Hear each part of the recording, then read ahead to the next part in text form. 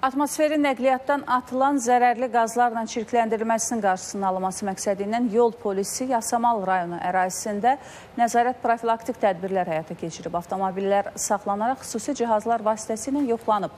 Atmosferə atılan zərərli qazların miqdarı çox olan nəqliyyat vasitələrinin sahibləri cərmələnib. Bu dəfə avtomobillər Yasamal rayon ərazisində saxlanıldı. Polisin məqsədi avtomobillərdən atmosferə atılan zərərli qazların miqdarının yoxlanılması idi. Atmosferə buraxılan qazla, çirkli qazlarla bağlı. Yoxlayacaq nəqliyyat vasitənizi. Sənədləriniz olar yoldaş sürücü?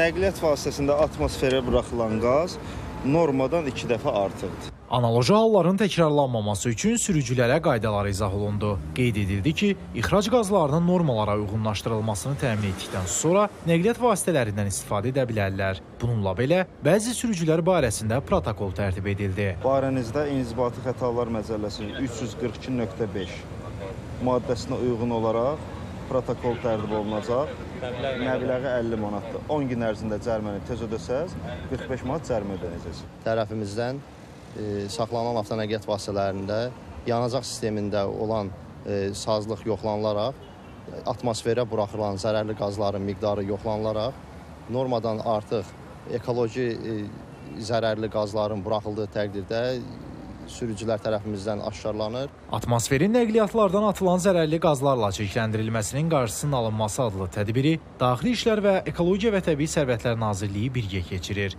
Bu tədbirlər davamlı olaraq baş tutacaq. İsmail Əmirli, Rüstəm Abdullayev, ATV xəbər.